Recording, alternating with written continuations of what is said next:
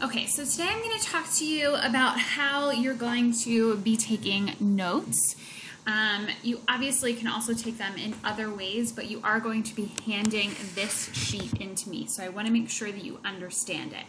So, the purpose of having you use this format for taking notes is a lot of times I find that students, when they're reading, you're just rewriting what you're reading, which one doesn't really mean that you're processing it and that you're learning it. And two, when you go back to study those notes, it doesn't end up being really effective. Or you end up taking like 15 pages of notes on 20 pages of reading, which again is not effective. So there is a lot of reading in this course. And part of what I want you to learn to do through this note taking is to take concise notes that are going to be easy and helpful for you to study from. So, this is the general idea. Um, you are welcome to print this sheet out if you want to. You can also just do it um, in a Google Doc. You can do it on a piece of notebook paper and just write central idea details under it, sentence that follows. So you don't have to do it on this exact sheet if you don't want to.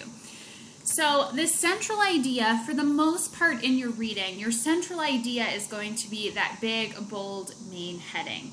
So, your central idea for your first reading, where you're reading pages 2 through 12, the first central idea would be art history in the 21st century.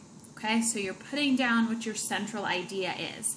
Then, underneath your central idea, you're putting some details that really connect back to that central idea, but you're not writing tons and tons of information. So here are some details that I jotted down, and they're not necessarily right or wrong details. We don't have to have the exact same thing, but since this is probably the first time you've taken notes in this format, I want to make sure you understand what you're doing. So, a couple of details that I wrote down. Um, we're talking about what is considered art and what the fact that what art historians study is always changing. Um, another detail are the questions that art historians ask. Another detail are common words that art historians use. Okay? So then my sentence summary from that, which is what I would be putting right in here, um, and I would probably tweak this a little bit, but this is the first sentence that I ended up writing down. So, art historians work to determine what. Um, sorry, I can't even read my writing. Art historians work to determine what is art, which is always changing. They use a preset of questions and vocabulary to discuss and determine what is and isn't art. So I think I actually would get rid of, I'm going to change that as we're here.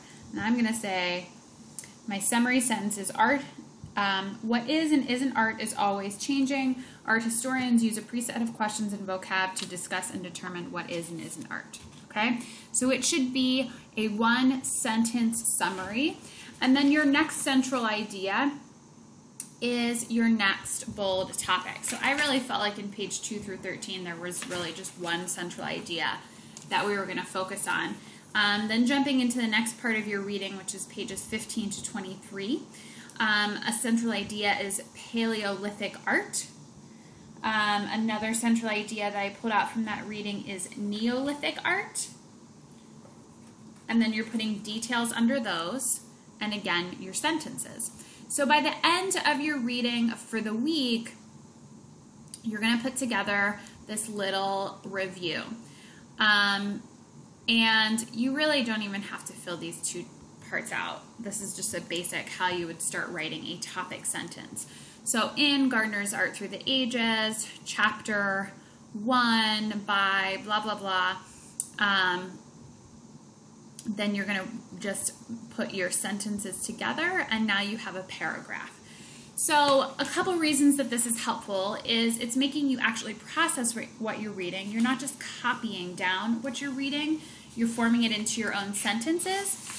And two, when you go back to study and look through your notes, you're going to have a really nice and neat, simple couple sentence paragraph summary of the important parts of what you just read.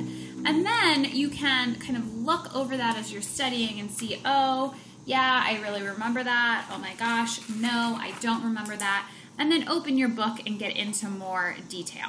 So for the first three weeks of this class, you are going to be required to take notes in this fashion and turn them in. After that point, um, I will not continue to require you to turn your notes in. However, I highly recommend that you continue to use this format. There is a lot of research behind this um, that students do much, much better on test if they do this type of note taking. So it does take a little bit of time to get used to. Um, don't worry about you know, don't get hung up on if you're not positive if you're choosing the right central idea or if you're choosing the correct details.